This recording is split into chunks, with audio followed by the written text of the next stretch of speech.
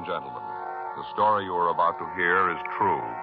The names have been changed to protect the innocent. Dragnet.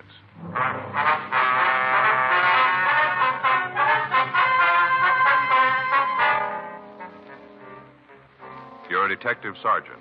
You're assigned a robbery detail. A holdup man has been hitting the banks in your city. After two months of following down leads, you get a possible identification. Your job? Check it out. It was Thursday, July 25th. It was warm in Los Angeles. We were working the day watch out a robbery detail. My partner's Frank Smith. The boss is Chief of Detectives Thad Brown. My name's Friday. We were on our way out from the office, and it was 10.42 a.m. when we got to 896 Duane Street. Front door. I'll get it again. Guess there's nobody home. Huh? Yeah. You see in that window? No, can't see anybody moving around in there. Let's try the back. Right. Around this way. Uh huh. Hey, sure pretty, isn't it, Joe? What's that? Rose tree there, Bella Portugal. Sure pretty. What? Fay's got one started out by the back fence. Isn't that big, but we got roses on it already. What'd you call it? One of those Bella Portugal rose trees. Oh. I'll pick a couple for you. Bring them in the office. Thanks, Frank. I don't know what I'd do with them, do you? Well, you can give them to Ann. She'd like them. Yeah. I get it. See anybody? No, looks like there's someone on the lawn chair over there, doesn't it? Huh. Miss Clark? Yes, who is it? Yeah, come on. You Miss Viola Clark? That's right. Police officers, Miss Clark. This is Frank Smith. My name's Friday. Well, how do you do? How do you do, ma'am? What can I do for you? We'd like to ask you a few questions. About Louis? Yes, ma'am. Well, would you mind talking inside? I'd rather the neighbors didn't know all my business. All right, fine. We can talk in there without anybody hearing. Yes, ma'am. Sure a beautiful morning. Hot. Mm-hmm. We're planning a little trip down to the desert this weekend. Get some rest and a little sun. Yes, ma'am. Trying to get a tan before then. Mm-hmm. Look, come on. Thank you. Just go on through the kitchen. We can talk in the dining room. All right, thank you. I just feel funny going to a place where there's a swimming pool and sitting there without a tan, don't you? Yes, ma'am. I, well, I, I do anyway. It makes me feel self-conscious like. I see, man. Uh, well, just go on in and sit down. I'll, I'll get us something cold to drink. No, that's all right, Miss Clark. Thank you. Oh, uh, how about you, Mr. Smith? No, ma'am. Well, I'm going to have something. Uh, Bill, that's my husband, brought me a case of that new kind of drink, you know, without any calories. Yes, ma'am. All kinds of flavors, supposed to be for people who are supposed to reduce. Of course, I don't really need it, just that Bill bought it and all. Mm-hmm. Sit down. Thank you. Now, what was it about Louis? He's your brother, is that right? Well, yes, actually, he's my half brother. You see, his father died and our mother remarried. I see. He's my half brother. When'd you see him last? Oh, let's see. I guess it was before the trouble. That'd make it about ten years ago. Mm-hmm. You heard anything from him since? Oh, a couple of times. Different people have told me they saw Louis. Always sent his best. But you haven't talked to him, huh? Well, no, not in ten years. Would you excuse me a minute? I forgot the bottle opener. Yes, ma'am. Uh, When Louis got into trouble, we sort of stopped seeing each other. I tried to write to him when he was in prison, little talky talk letter, but they just seemed to separate us more. What was that again, ma'am? I didn't hear you. I, I said that I tried to write to him when he was in prison, sort of a, a you know, a talky talk letter, but well, they just seemed to separate us more. I see. Did you see him when he was in prison? Oh no, it was during the war, and I was pretty busy with other things. Uh-huh. Bill, my husband, was overseas, and I was writing to him, sending him little things. Just never seemed to get around to seeing Louis. I, oh, I thought about it, but just never quite seemed to get to it. Hmm, It's a new flavor, pineapple papaya, kind of tangy. You sure you don't want any? No, No, thank you. Oh, that's good. I, I- I've got some little crackers, low calorie. Would you like some of them? No, ma'am. Thank you. Well, when Louis got out of jail, I heard he went back east, Salt Lake, I think, got a job with a paint store back there. Mm-hmm. Did pretty good. Something happened, though. He quit or got fired or something. Anyway, he came out here again. Do you have any idea where your brother might be staying? No, last I heard it was in some furnished room down on Pico. Would you have the address? I'm afraid not. Do you have any idea where we might be able to get it? Not the least. Uh-huh. What's he done this time? Well, it'll be better if we talk to him about it, ma'am. Well, it seems to me I'm his sister. You should be able to tell me. I'm certainly going to cooperate with you. I think it'd be better if we talked to him, though. If that's the way you're going to handle it, there's not much I can do. Did your brother have any hobbies? Anything that he might try to work at? No, not that I can remember. Well, when he was a kid, I think he used to collect stamps, but then I guess every boy does that. Mostly, though, he used to read a lot. Always had his nose in a book. Mm-hmm. Had a big collection of those books you could buy in the five and dime. You know, the little thick ones. Yeah, I think I know what you mean. I guess he had just about every one that was ever published. There was a big thing with the kids in the neighborhood. Well, Louis had about a hundred, all different stories. He built a case for them out in the garage out of apple boxes. I remember that, out in the garage. Yes, ma'am. Had a library going, little cards and everything. Charged the kids two cents to read the book. Real going business. Mhm. Oh, he was a funny kid. Always trying to figure out how to get somebody else to do the work for him. He'd say that if he had his way, he'd get what he wanted without really working for it. I wonder if being in jail made him change. If he still feels like that. What's that? That he can live the easy way. He's still trying.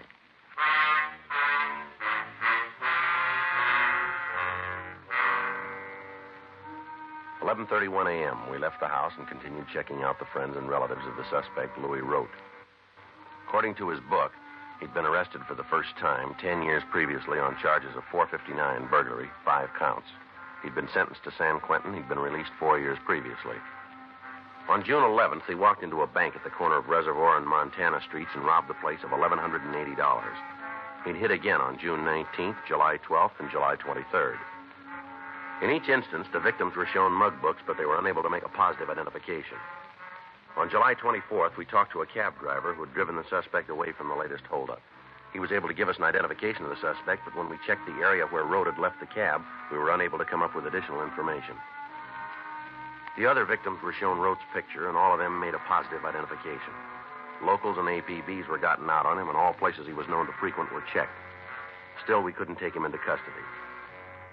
Two days passed while we looked for the suspect. On Friday, July 26th, the bank located on Hollywood Boulevard was held up for $1,800. The suspect matched the description of Rote. From one of the people in the vicinity, we got the number of the cab the suspect was supposed to have taken. We got in touch with the traffic manager of the cab company and got the name and stand number of the driver. 9.20 p.m. Frank and I drove out to see him. Corner of Hollywood and Loma Linda? That's right. Bank near there. What time was it supposed to be? Well, the way we got it, about 5. Tonight? That's right. Gee, I don't recall the guy. You sure it was me? Well, we got the number of your cab. Oh, you're pretty busy today. Let me check the waybill. All right. Let's take a look here. Yeah, yeah, here it is. Loma and Hollywood. Where'd you drop the fare off? 2000 block on Sunset. That'd be near Echo Park. Yeah. Can you tell us anything about the man? No, like I told you, I've been pretty busy tonight. Well, it's pretty important. Well, what kind of things you want to know? Well, what did he say to you when he got into the cab? Oh, not much. Seems to me he just told me to drive right down Sunset, and then he'd tell me where to let him out. Was there anything about him that stood out? An accent, maybe? Scar, birthmark, anything like that? No, it doesn't seem to me that there was. I, I could only get a glimpse of him in the rearview mirror. He was kind of sitting off to one side, kind of hard to see. You don't remember anything about him then, huh? No, nothing would help.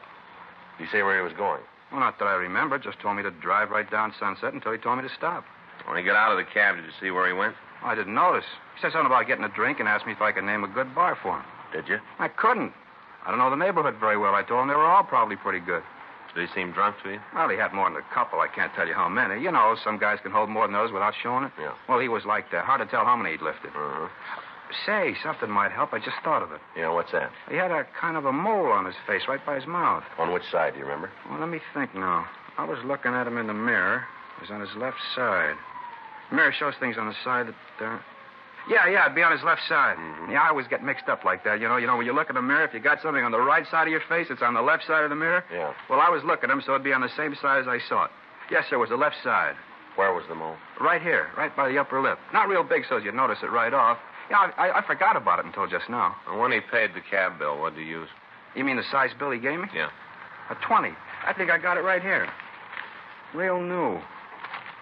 Yeah, yeah, here it is. He had a whole fistful of bills just like this, all brand new. Mm-hmm. I asked him if he was going on a trip. You know, people draw a lot of money out when they're going to take a trip. I figured maybe that's what he was going to do. What'd he say? Well, he said he wasn't. Said he just made a withdrawal from the bank, but he said he wasn't going away. Well, he's wrong there. Huh? As soon as we find him, he is.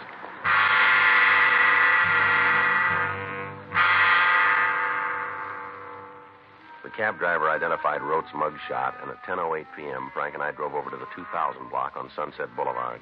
We checked at several bars, but we were unable to find the suspect.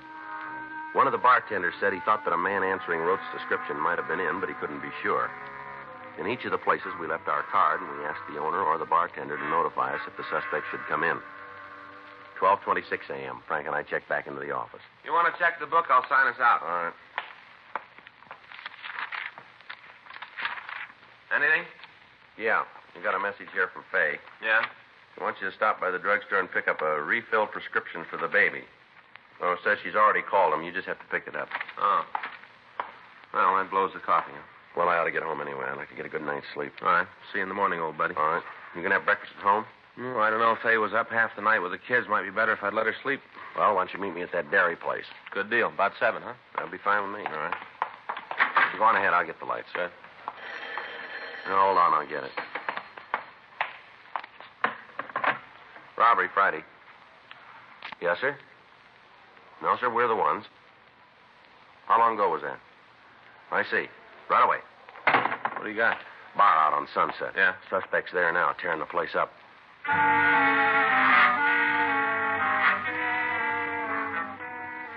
We left the city hall and we drove over to the bar on Sunset Boulevard. By the time we'd gotten there, a police unit had arrived and the disturbance was under control. The suspect had left the scene and a broadcast was put out to all cars in the area carrying his description and the description of the clothing he was wearing. When we walked into the bar, the bartender was sitting at one of the tables in the back of the place holding a steak to his left eye. The place itself was a mess. Bar stools were scattered over the floor, tables were upended. The back bar was smashed, and the mirror that ran along the length of the bar itself was broken. Frank and I checked with the officers from the unit, and then we went back to talk to the bartender. Why didn't you guys tell me about him? Sir? Why didn't you tell me who he was? I didn't know. Look at this place. Look what he did. What started the fight? I don't know. Did you recognize him when he came in?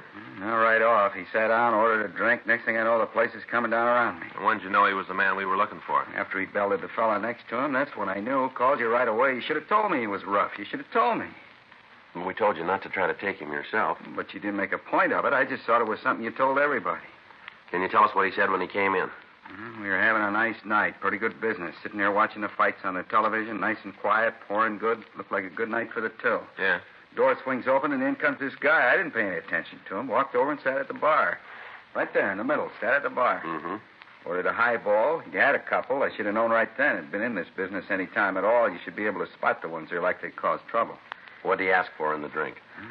Bourbon and ginger. I mixed it, collected for it, and then went back to watching the fight. I had a little bet on it. I always take the white corner with one of the regulars. You know, a couple of bucks. Mm-hmm. I'm standing there watching the fight. All of a sudden, there's one going on in the room. This new guy and the fella next to him. Going at it hot and heavy. All right, go on. This do any good, you know? What's that? Holding a steak on a black eye. Supposed to take swelling down. I wouldn't know, sir. Sure hope so. Guy laid a bottle on my cheek. Feels like he broke something. You want us to call a doctor for you? No, I'll check one later. Other cops asked me the same thing. I'm all right. Yes, sir. Would you like to go ahead with your story, please? Not much more to tell. The place just seemed to explode. I jumped over the bar. I got a billy club in the back, grabbed that, and jumped over the bar and tried to get the two guys apart. They were throwing everything they could lay their hands on at each other. Well, look at the place.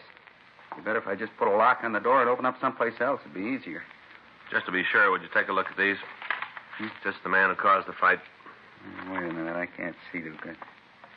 Yeah, that's him. You're pretty sure, are you? Yeah, Louis Rote. That's the fellow. This afternoon when we talked to you, you said you didn't know him. It didn't make much of an impression then. When I saw him in person, I remembered. Well, he was in here earlier then. Yeah, same guy. Did you hear him say anything at all that might help us find him? No, but you ought to talk to the guy you had the fight with. Yeah? He went to school with Rote.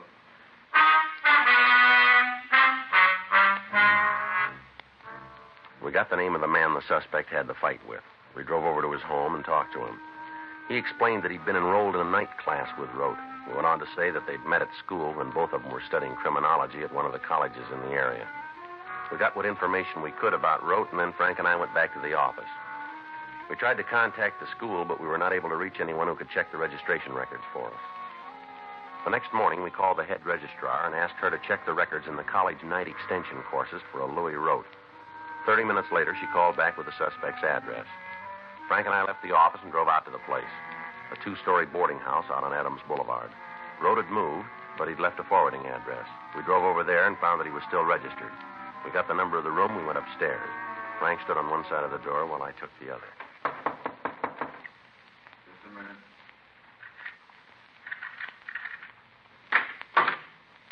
Yeah, You Louis Rote? yeah. What do you want? Police officers, you're under arrest. For what? Suspicion of robbery? How'd you get to me? We did. Can I get a coat? No, you tell us where it is. We'll get it for you. Closet over there. I'll get it. There's a bottle of aspirin in the pocket there. Make sure you don't drop it. Hangover I got, I'm going to need something. Yeah. Don't think I ever had a headache like this one. Terrible. Well, you better get used to it. Huh? They're going to get worse.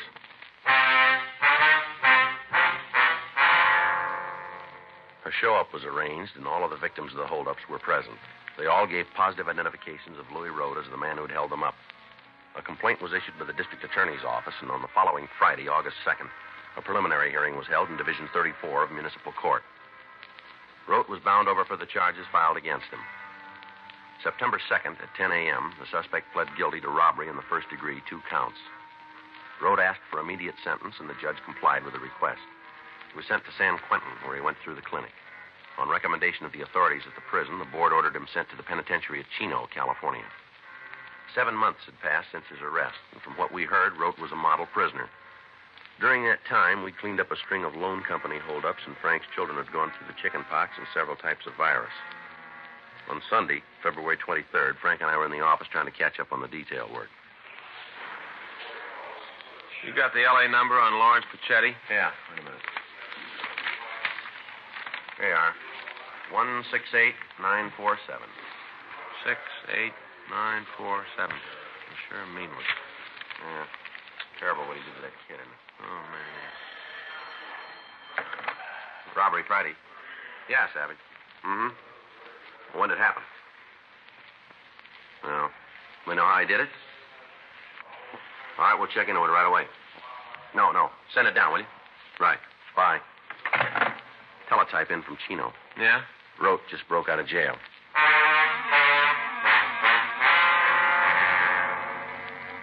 An immediate watch was put out on all the places Rote was known to frequent. All officers in the field were supplied with descriptions and pictures of the suspect. From the story as we got it from the prison officials, we were able to piece together the method of Rote's escape. Several months before he'd started on the bank robberies, he'd gotten work as a day laborer up at Chino. He'd managed to bury a gun and several hundred dollars in a watertight container in the prison grounds. On his arrival at the prison, he'd waited for the right moment, and then he dug up the weapon and the money and made a break. He'd picked Sunday, a day when the prison grounds were crowded with visitors. Fortunately, there'd been no one hurt when Rhoda escaped. However, we knew he was armed and he was to be considered dangerous. Two days after his escape, a man answering his description held up a grocery store. From the clerk, we obtained a positive identification of Rote. The next day, he hit again. This time, he beat one of the clerks in the store when the man refused to open the cash register. Additional information was forwarded to all law enforcement agencies throughout the area. Rote's picture was carried on the police television show, and the daily newspapers cooperated and carried his likeness and description. Calls began to come into the complaint board from people who thought they'd seen the suspect. In each instance, the information was checked out, and several of the reports appeared authentic. On Wednesday, March 4th, we got a call from Calvin Niles, the bartender who'd given us the original information on Rote. Frank and I drove out to see him. I tried to hold him here, tried my darndest, but he wouldn't go for it. Mm-hmm. Did you talk to him at all? Yeah, I had a couple of words. What about? Mainly about the fight he had before he got him. You know, when he broke up the place? Mm-hmm. Talked about that. He said he was sorry about it. Told me the other fellow caused it. Mm-hmm. Said he'd like to be able to pay for it, but he didn't have the money. I thought he was going to hit me up for a loan. The way he acted and all. Thought sure he wanted to make a touch. Did he say anything at all about where he was staying? Not a word. Didn't give you any indication Nope. at all. Was he driving the car? Not that I could see. When he walked out, I went over to the door to see if I could spot anything, but by the time I got out from behind the bar, he disappeared. Is there a cab stand around here? A couple of blocks up the street. Think he might have taken a taxi? We'll check it. I don't think he could have gotten that far in the time it took me to get to the door. I can see that far, and I didn't see him. Mm-hmm. I don't think he took a taxi. Did he come in alone? As far as I could tell, he came in, sat down, ordered a highball, drank it up, and left. I don't think he was here more than five minutes, all told. But you're pretty sure there wasn't anybody with him, are you? Yeah, I had been. I'd have seen him. Did he look like he was going to meet anybody here? Not especially. Give you any reason for coming in? Not right out, he didn't. How do you mean? Lucky I did it now, I guess. I didn't plan it that way. What's that? I told you I thought he wanted to make a touch. Yeah. I told him I'd just taken the money to the bank, dropped it in the night depository, said I'd cleaned the place out. He left right after that? Yeah, finished up his drink and walked out. Sure got a lot of nerve, if you ask me. What do you mean? He comes in the place once, breaks it up, then comes back to try to hold it up. Well, you're not sure about that, are you? As far as I'm concerned, that's what he came in for. Can you give us a description of what he was wearing? Uh, plain blue suit. Looked like it was gabardine, two button. How about a hat? No, he wasn't wearing one. He had on a white shirt, black knit tie, you know, the narrow kind, one of those little stick pins shaped like a little ladybug. You know the kind I mean? Yes, sir. One of those. All right, Mr. Niles, if anything more comes up, we'd appreciate a call from you. You get it. I'll tell you one thing, Sergeant. What's that? After that fight, I did just about everything I could to help business, help pay for the damage. Yes, sir. This is one customer I want to lose.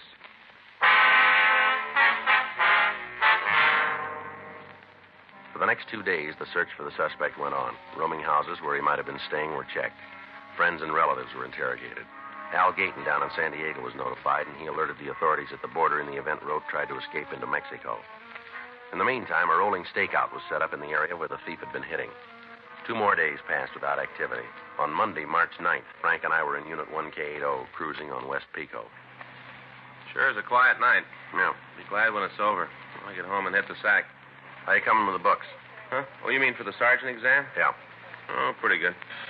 All units, attention, all units. A 211 has just occurred at the grocery store at the corner of Pico Boulevard and Ottawa Street. Unit 1R13 handled the call, code 3. Better hit it. Yeah.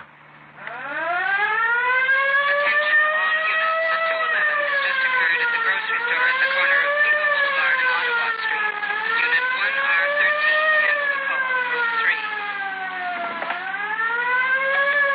1K80 to Control 1. Control 1 to 1K80, go ahead. Code 6 at Pico Boulevard and Ottawa Street.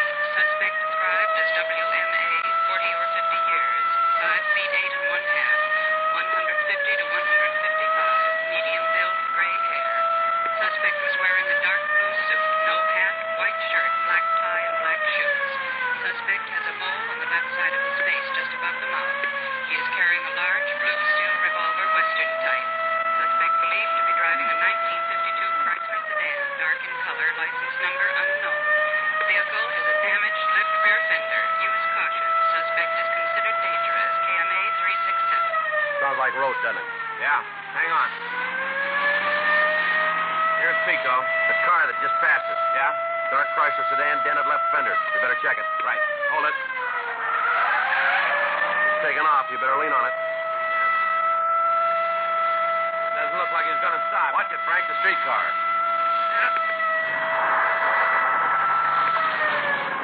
It's a close one. As long as they don't come any closer, huh? You see him? Yeah, up ahead. You to try a shot at him? No, we can't. There's too many people around. Oh, we're pulling up. All right, hold it steady. Pull over, police officers. He doesn't act like he hears you. It's Rote, all right. Yeah. Try to cut him off. All right, come on, Rote. Pull over. Nothing. All right, cut him off. Right. Hang on.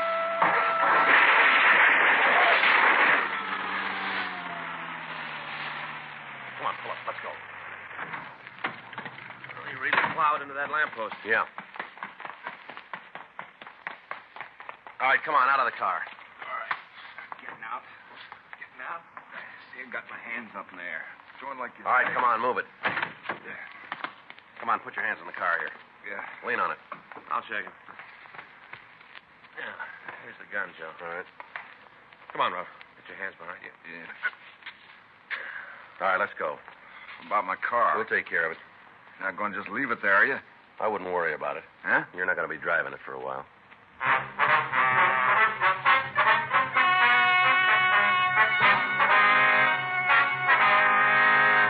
Louis Albert Rote was tried and convicted of robbery in the first degree, four counts, and violation of Section 4530 PC escape. Robbery in the first degree is punishable by imprisonment in the state penitentiary for a period of not less than five years. Escape from a state prison is punishable by imprisonment for a period of not less than one year. Said second term of imprisonment to commence from the time the prisoner would otherwise have been discharged from said prison. You have just heard Dragnet, the authentic story of your police force in action, and starring Jack Webb, a presentation of the United States Armed Forces Radio Service.